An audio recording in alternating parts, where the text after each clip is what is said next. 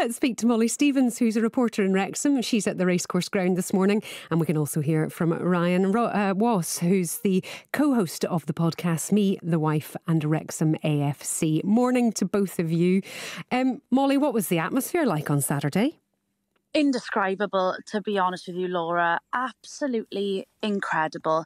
It was one of those scenes where I was actually pitch side for the match. So I was between uh, both the Boreham Wood manager um, and the Wrexham manager, Phil Parkinson, uh, for the entire match. So just seeing their raw emotion to the game as it went through, through was just incredible.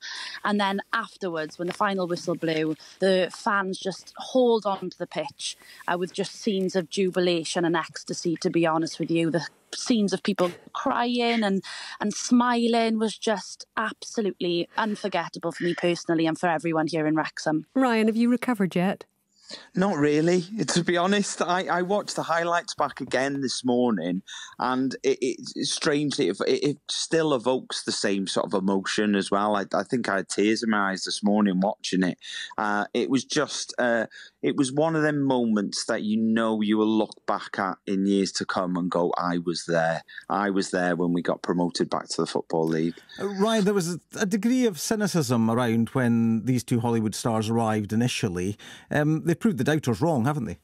Absolutely, and it's not just surrounding the football club either. They've they've done it in the right way, and they've drawn the community back in. I mean, I went to a game sort of ten years ago, and there was three and a half, four thousand fans there.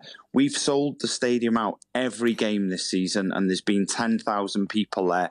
And it's the important thing for them was getting the community on side and and because you're very right you know uh, people are always skeptical of football owners you know especially overseas football owners and you're always wondering why they're coming into your club but they've they've been absolutely amazing and I, I you know I would say we've got the best owners in in in football at the moment. Molly, what what are the new owners? New owners have been there since 2020, but what are what are these Hollywood stars saying about the future though? Because this is where things presumably will start to get a bit more expensive if you move up.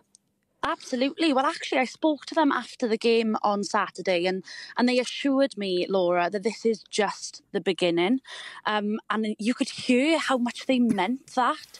Uh, they are going to be in League Two next season, and as far as they're concerned, as far as the manager Phil Parkinson is concerned, they want to get promoted from League Two next season. That's the aim. It's not about just playing their way uh, through League Two and waiting a couple of years to go up.